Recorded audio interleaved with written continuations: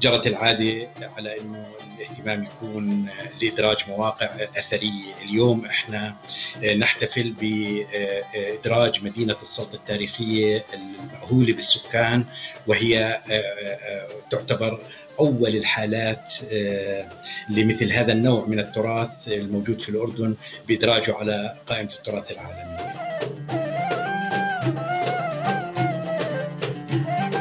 زيادة المنتج الثقافي آه، للسياحة الثقافية وإشهار الأردن سياحيا على المستوى الدولي.